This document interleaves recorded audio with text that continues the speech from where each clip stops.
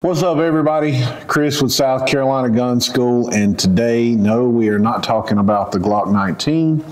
We are talking about the XS standard dot suppressor height sights. Yes, that's a mouthful.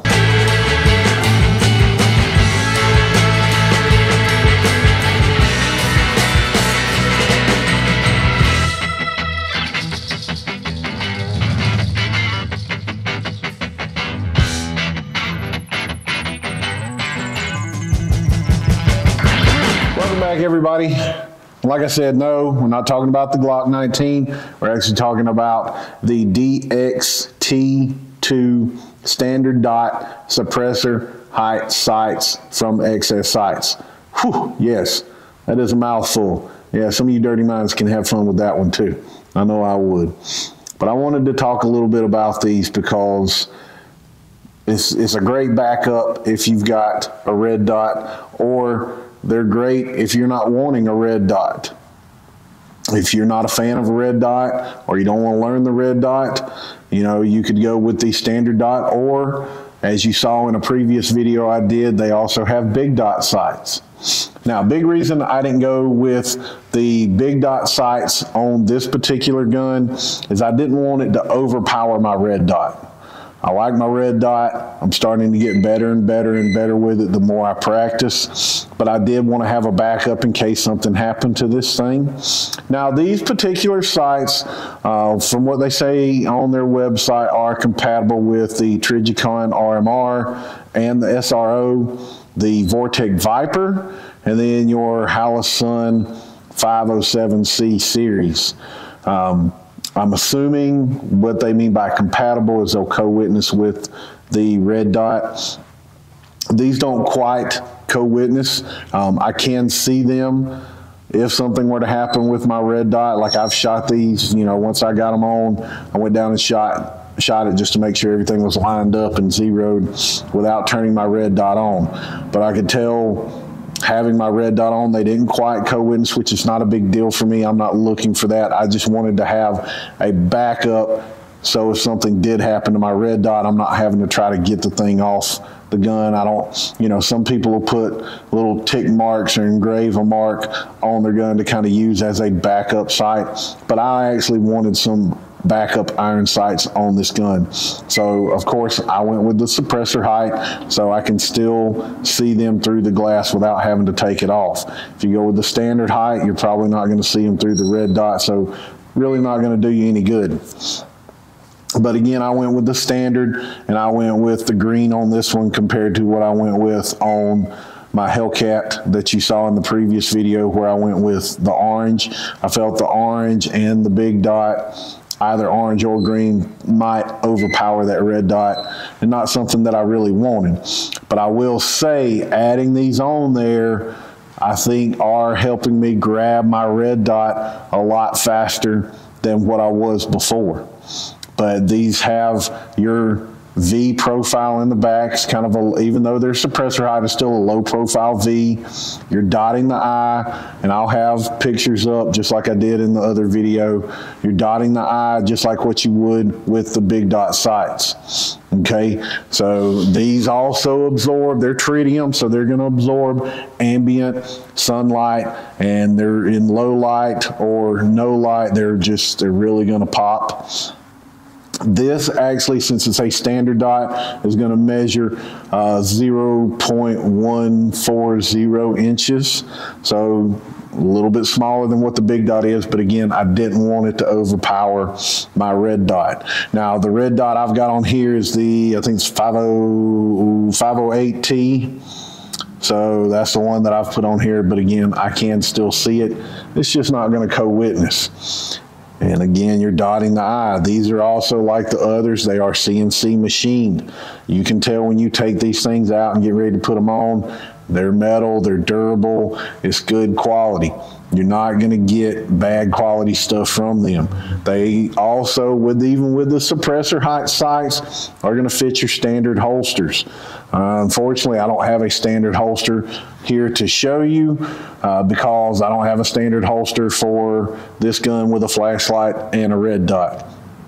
But they will fit standard holsters. You're getting the same 12 year warranty on the tritium, and 30 day money back guarantee with any of their sights, the big dots or the standard, whatever that you might happen to go with. And again, the same thing, dotting the I. You've got your little. Will, to me, it's not really a white strip. It's more of I would say like a tick mark. Uh, but still you're dotting the I. That's all you have to do. And again, it just, they pop. They're right there. I mean, you just grab them and you go. Now, another thing to remember, if you go with the suppressor height sights, that's going to change your holds. All right, so you're just going to change your point of aim a little bit. You're going to aim, if you go and put these on, aim where you normally aim, it's going to probably hit a little bit lower. So make sure you do get out and practice with these things. Let's hold it up here so you can try to, I don't know if it'll, let's try to hard to line everything up here if you can see it. But like I said, I'll have some pictures up so you can see how well this thing pops and how you're just dotting the I again, like what you see in the poster over my right shoulder here. Also, don't forget, I'm an affiliate with XS Sights, SCGS10. When you go to buy your sights, whether it's the standard height or the suppressor height, doesn't matter. They've got the suppressor height for just about any manufacturer that you can think of or might possibly have. So don't do yourself a disservice and not go out and put these on your gun. These things will change your life. It's, I'm telling you, the first time I shot these things on my buddy's gun, I was just like, holy shit. And I've been, I'll be honest, I've been procrastinating a little bit on getting these things and getting them on the gun, but it's done. And that's why I wanted to talk about it because newer shooters, novice shooters, this will help you out, especially for your newer shooters that are struggling lining up those front and rear sights, whether it's the goalpost rear sight or the two dots. So the goalpost, you're sitting the dot in the middle of the goalpost. The two dots, you're lining up those dots, the rear sight dots with your front sight dot. Those have to be in a row. This to me is so much easier because again, you're dotting the I you got your tick mark and you just go in there and put it right there at the top of that tick mark. So you're not going to be disappointed at all whatsoever. The other great thing about these is the way they are have the ledge here in the front. It's great for one hand manipulations if you ever have to do that. Now, of course, I've got the dot on here to help me out with that. But as you saw in my Hellcat video, it's a nice straight ledge there. So if you've got to ever manipulate with one hand. Now, if you, some of y'all are sitting there going, what do you mean manipulate with one hand? All right, real life ain't perfect. It ain't a competition. Nobody's going to stop if you get injured or anything like that. So something could happen to where I have to manipulate this with either my right hand or either my left hand. So I might not have the mobility or dexterity or whatever might happen in one hand or the other. So knowing how to manipulate this thing with one hand is something that you need to do. Go out and get training. All right. Now I don't mean high level combat role operator freaking training.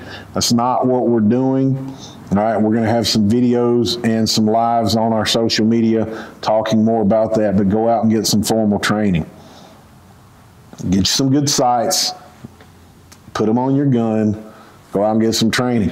These are also easy to put on. Okay, you're going to get all the tools that you need outside of your hammer and your punch. They'll even send the uh, front sight tool that you need to take off the front sight for your Glock. So you're getting everything you need when you order these outside of just like with the Hellcat a vise, a hammer, and a punch.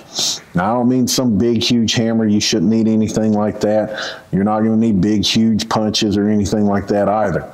But those, everything else you're going to get with you. You need to provide vise, hammer, and the punch. Maybe a rag or something to kind of, you know, clean, maybe some Q-tips, but there's videos on their website and their YouTube page that'll show you exactly how to do this. It is not overly complicated. You just need the right equipment. If you don't feel comfortable doing it, take it to a gunsmith, all right, gun store, or even a firearms instructor. Okay, I, if, if you're in the area near me, let me know if you need some help with it. I'll be glad to help you. It's not overly complicated. You just got to have the right tools, a little bit of patience. I think all in all, it took me maybe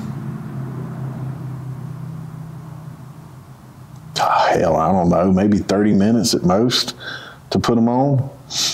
It might even been a little bit longer because I was just a little bit here, a little bit there, you know, answering phone calls, text messages, things like that. So it's not going to be anything that's going to take you a long time. Very easy to do. Don't think you got to be a gunsmith to do it or have all that equipment. Vise, hammer, and a punch.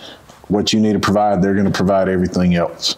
So again, that is xssights.com, X-ray Sierra Sights, xssights.com code SCGS10, South Carolina Gun School abbreviated, SCGS10. I'll have it up here in the screen for you so you can go in. It'll also be down in the description as well too. Get out and get you some of these sights, folks. You won't be disappointed. And don't forget, if you're not shooting, you're reloading. If you're not reloading, you're fighting. If you're not fighting, you're dead. Train to live. See you on the range.